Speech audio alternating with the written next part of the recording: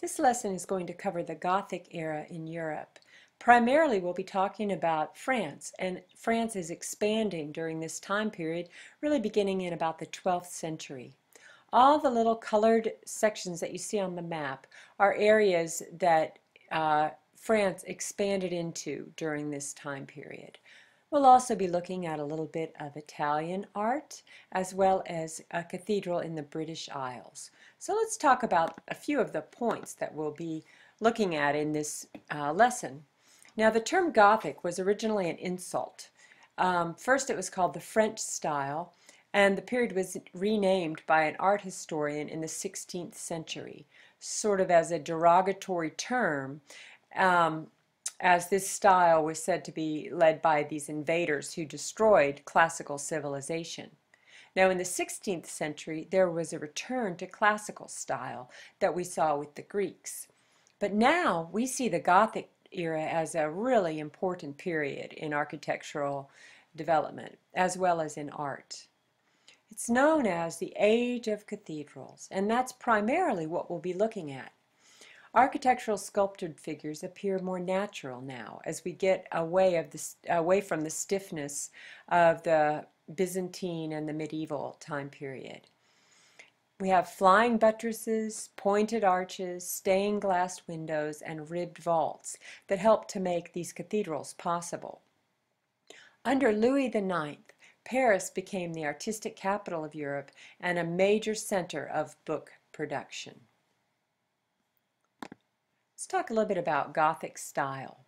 Beginning around the year 1100, a style of building developed in which massive cathedrals were built with the emphasis on upward thrust and light. One of the main visionaries of this style was a man known as Abbot Suger. It looks like sugar, but it's Suger. Now, Abbot Suger believed in the symbolic transformational power of light, which he called lux nova, or new light.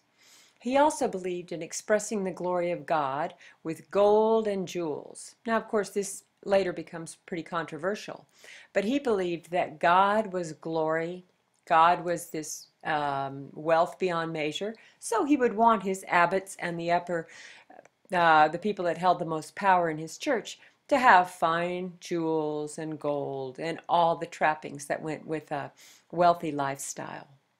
So this is his chalice, his cup above. And it is set with sacred stones, with stones that were very rare at the time. This is the period, the time period uh, that many of the Gothic cathedrals were built. And one of the prime inspirations for this was the abbot Suger, who believed in the power, transformational power of light. So when you wanted, when you walked into these cathedrals, your first experience would be a flood of light. And Suger believed that the Christian experience uh, was really supported by this brilliant divine colored light to hit the worshipers as they entered the church. Now when you look at the building on the right, the interior, note that the little arches are the size, they are uh, probably 10 or 12 feet high. So you can imagine little bitty people in this very tall building. So he believed that these stained glass windows, which really came to prominence in this era, would help to create a multicolored gem-like effect. Suger wrote that he wanted the whole church to shine with an uninterrupted light of most sacred windows, pervading the interior with beauty. His ideas for sacred buildings also helped to elevate the status of France. And it encouraged a great building boom in which each architect endeavored to make his cathedral soar higher, thus taking the faithful ever closer to God. Now, as we shall see in the films and in some of the, when you look at the cathedrals, often they were built over a period of 100, 200, even longer years. And what happened also, often is that as they were attempting to go higher and higher with these structures, well, they would collapse. So let's discuss some of the basic characteristics of Gothic architecture. We have pointed arches which allow for more light. And then there's something called flying buttresses, which you'll see in the films this week. And these stabilize the tall walls of the naves.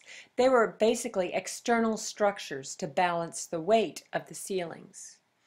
There's something called ribbed vaults, which allowed for walls to be filled with glass rather than with stone to support the structure. Stained glass in these Gothic churches transmitted colored light through these skeletal walls, so the interior space was unified and unbroken. The thick Romanesque pillars that we saw in the last era were replaced with thin clustered piers and columns.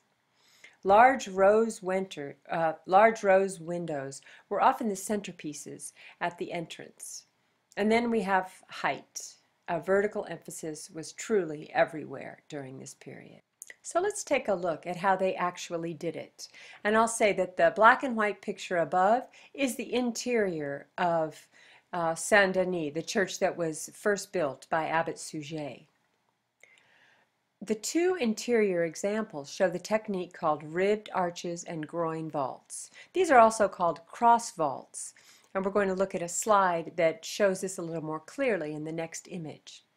Ribbed arches refer to the ribs that are visible in these examples, and the groin vaults are the same process that was developed by the Romans to build the large buildings that they had as their forums. Now what these groin vaults did was they allowed as much light to enter the buildings as was possible. Now we're looking at flying buttresses on the right. And this was an important building tool that helped them to achieve ever higher uh, elevations with the church ceilings. You can see here how there's the flying buttress would actually be that structure on the right of this of the image on the right. And what it is is it's a pier that adds a weight to sort of counteract the weight of the roof as it's pressing down on these very high walls. So basically with the ribbed vaults, what we have is the pointed arches around the side, but then we also have an arch that goes across from one corner to the other across the very center of the structure. So you see there's the arches on the outside and then there's the supporting arches that go across the middle of the structure and actually allow it to be supported without having a large post in the middle. This was very important for the development of Gothic architecture. Let's just now talk a little bit about the sculpture. These are images from Chartres Cathedral, and we'll talk about that a little bit more as we go forward. But let's just look at, the at some of the thousands of stone sculptures that were created by anonymous architects in order to decorate these cathedrals. Here's a detail. Looks like there's a little bit of hell happening there on the right, and some Jesus action on the left. So think about that these were way up tall. You didn't really see them unless you got up close to them. And yet still, they're elaborately carved with such incredible detail to tell a story and to support the church overall. One of the main features of the Gothic cathedrals was the stained glass windows. And this is Scenes from Genesis, which is from the Cathedral of Notre Dame, also known as Chartres in Paris. Now, if you can see this, if you look closely, it's also in your book, you can see that it's actually scenes from Genesis. We have Adam and Eve, and then we have the story of the Good Samaritan with Jesus. Now, with this image, there's a, a parallel being drawn between Jesus helping the Good Samaritan and God helping Adam and Eve so you can see that these windows were used to teach stories as well as they were to bring illumination. It's easy to imagine that the people at the time lived actually pretty difficult lives. There wasn't a lot of bright color in their lives. But then they would go into these churches and see these brightly colored illuminations, and it must have had a very, very powerful effect. Here's another example of the storytelling aspect, which is the flight into Egypt. You can see here how the forms are really simplified, but it tells a clear story. A big feature of the cathedrals is what we call the rose windows. And this is the basic format for rose windows that are still created today. In fact, I've worked on some rose windows because they, in general, stained glass tends to sort of do what they call slumping. In other words, the supports that hold the glass in place can become weakened through time, and so they often need to be re-supported and re-leaded. So that's something that art conservators do in order to keep them up. But the effect of these large rose windows is just magnificent. It really brings the to mind the presence of some kind of a divine, of a divinity, just by the very nature of the light. So here we have the cathedral at Notre Dame, Paris, also known as Chartres Cathedral. This was begun in the mid 12th century and went into the mid 13th century. They even added a north spire in the 16th century. Chartres is seen as a beautiful example of the Gothic style, and within it we see early experimentation that was the architecture at the beginning as it develops into a more mature Gothic style with the later additions to the cathedral. Chartres is interesting in that it was originally a town that was dedicated to a goddess cult, pre-Christian. And as they were known to do, the Christians came in and dedicated it instead to Virgin Mary. And their relic that people came to see from far and wide was supposedly a piece of linen that Mary had worn at the birth of Christ. Now, this cathedral is best known for the west, well, this cathedral is known for many things, for its stained glass, for the sculptural work that we've seen already on the outside, and in particular, the west facade is a beautiful example of relief sculpture of the period. Here we have the west side of the cathedral at the level of the doors. And let's look at a little bit of the detail of this uh, so we can see the elaborate sculpture. It's almost too much sculpture to take in. And as a, a bit of art criticism, that would be something I would say, is it's so elaborate, it's really hard to see. You could take any one of these sculptures and it would stand alone as a beautiful work of art. And as they're all put together in this sort of composition, it is a lot to take in and a lot to, to even to be able to view. In order to build these cathedrals, armies basically of skilled artisans and craftspeople were employed. And these cathedrals were funded by actually taxing the local people.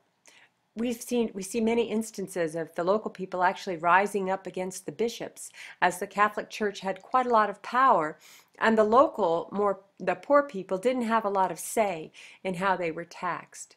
But you can see in this image you see the wheel. They would use pulleys and wheels in order to raise extremely heavy loads up to the ceiling of the cathedral. Master architects were employed to figure out how to get ever higher and higher with the ceilings. And then there was the artisans for the stained glass that were very skilled. And then there was the artisans that were the sculptors who created all the sculpture.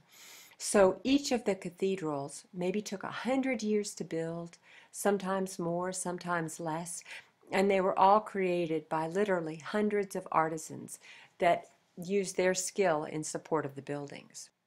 So here we have the cathedral at Rheims, which looks pretty much the same, although I want you to notice that it was begun in 1211 um, left unfinished in 1311 with original work that was done from for about 22 years in the early 1400s. So it gives you an idea of the time span that was necessary to create these massive structures. And you'll see also in the films that they were often located in the middle of agricultural areas. So you would have very low houses and then these massive structures, literally rising hundreds of feet above the plain. Very impressive. And here more sculpture, and this is the west facade of Rheims Cathedral. Can you imagine walking into this interior uh, on a cold day and you coming in and seeing it just filled with this light and hearing the choir singing. Well, that was the experience of many of the pilgrims and the people who visited this church in its day. One of the interesting features of the cathedrals is that they're often still used as churches.